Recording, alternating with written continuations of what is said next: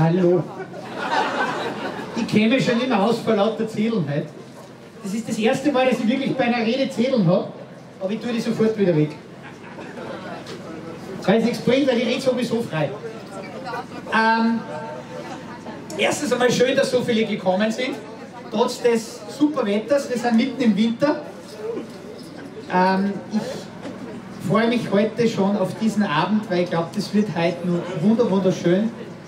Ich möchte auch unseren Hauptecht heute gar nicht großartig stören, weil viele von euch sind wahrscheinlich auch wirklich wegen unserem Michael Brunner gekommen. Ich möchte aber trotzdem ein paar Dinge sagen, die mich momentan massiv stören.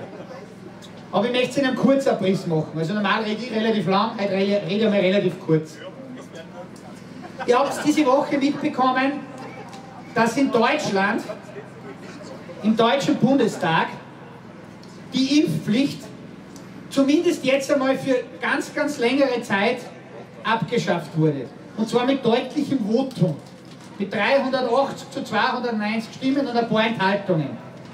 Ich frage mich ernsthaft, warum die Deutschen das können und warum bei uns in Österreich ein völlig inkompetenter Gesundheitsminister von einer grünen Sekte samt einem noch viel, viel inkompetenteren Bundeskanzler, der heute zu Mittagessen hat mit Herrn Zelensky in Kiew, was eigentlich der volle Wahnsinn ist, uns immer noch weiter pflanzen werden, uns immer noch weiter pflanzen werden und die Impfpflicht, die ja eigentlich jetzt einmal bis 31. Mai diesen Jahres ausgesetzt ist, dann mit aller Voraussicht noch im 1. Juni wieder scharf stellen werden. Denn es werden in den Bezirkshauptmannschaften Leute eingestellt, Leute eingestellt, die dort sich dann um den Vollzug der Impfpflicht bei den Menschen da draußen kümmern sollen.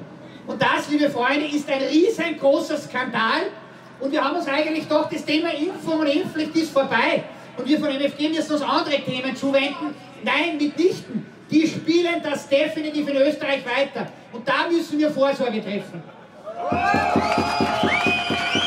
Des damaligen Gesundheitsministers Wolfgang Mückstein auf die Fragen des Verfassungsgerichtshofs kann man grob in vier Punkten zusammenfassen. Punkt 1. Es gab zu keinem Zeitpunkt in den letzten zwei Jahren irgendwo eine evidenzbasierte Grundlage, dass man das alles machen musste. Zu keinem Zeitpunkt. Punkt 2. Es gab zu keinem Zeitpunkt in den letzten zwei Jahren, und das ist die Grundlage gewesen für diese ganzen Lockdowns, es gab zu keinem Zeitpunkt eine Überlastung unseres Gesundheitssystems. Wir wurden von Politikern wir wurden von Ärzten, wir wurden von sogenannten Experten, Tierärzten, Simulationsforschern und sonstigen Balawatsch, wurden wir von vorne bis hinten belogen, betrogen, manipuliert. Es wurde uns Angst gemacht.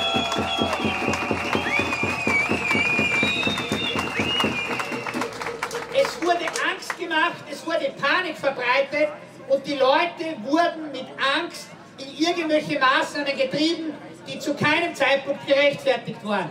Punkt 3. Man hat immer wieder argumentiert mit Überlastung der Intensivbetten. Wir haben keine Intensivbetten. Auch das ist gelogen und man hat uns auch hier manipuliert und das Falsche gesagt. Wir haben in Österreich, und das kann man auf der Homepage des Bundesgesundheitsministeriums nachlesen, 2640 Intensivbetten. Und zum Spitzenzeitpunkt waren nicht einmal 1600 belegt. Das heißt, wir hatten 1000, 1000 freie Betten. Wo ist hier eine Überlastung der Intensivbettensituation? Ich kann keine erkennen. Das war die dritte Lüge. Die vierte Lüge. Die vierte Lüge. Wir argumentieren mit 16.000 Corona-Toten. Das ist falsch. Die amerikanische CDC das deutsche Robert-Koch-Institut und die österreichische AGES, alle drei haben argumentiert, wirkliche Corona-Tote 5 bis 6 Prozent.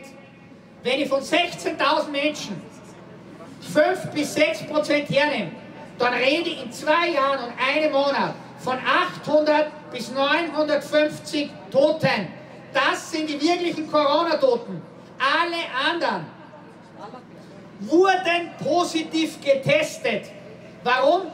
Weil wir in Österreich Testweltmeister sind. Wir haben mittlerweile 175 Millionen, das muss man sich auf der Zunge zergehen lassen, 175 Millionen PCR-Tests gemacht. Diese gesamte, ja, da könnt ihr ruhig mal buhen, das ist unfassbar.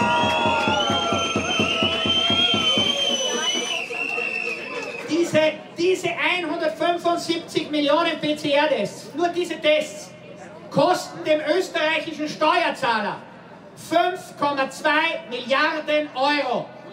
5,2 Milliarden Euro. Mit einem Verbrecher zusammen, mit einem Herrn Zelensky. Das ist ein Verbrecher.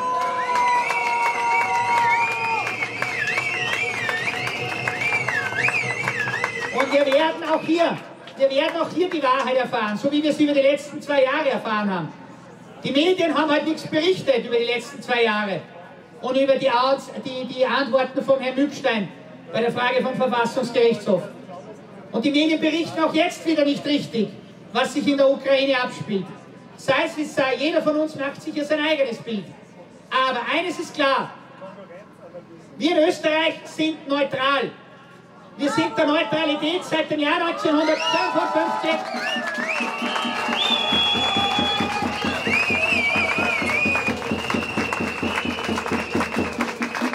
sind der Neutralität seit dem Jahr 1955 verpflichtet.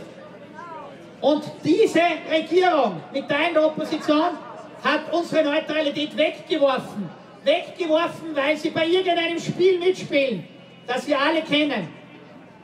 Es ist beschämend, was diese Personen, das sind keine Menschen, das sind Personen, was diese Personen hier in Österreich aufführen. Und ich kann nur eines sagen, es ist Zeit für Neuwahlen. Definitiv. Und Europa sich gerade selbst abschaffen. Wir haben uns mit den Sanktionen gegen Russland uns ins eigene Knie geschossen. Die Inflation im März, die Realinflation, nicht das, was im Warenkorb drinnen ist, die Realinflation im März ist bei 15 Prozent. Bei 15 Prozent und wir sind lange noch nicht am Ende.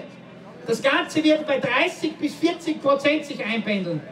Und es muss jedem klar sein, wenn ich dann 2000 Euro habe, sind diese 2000 Euro nur mehr 1200 Euro wert. Da werden wir landen. Und das haben wir einer Politik zu verdanken, die nicht für die Menschen da ist, sondern die vor allem einem großen Plan hinterherhechelt. Und damit muss jetzt Schluss sein.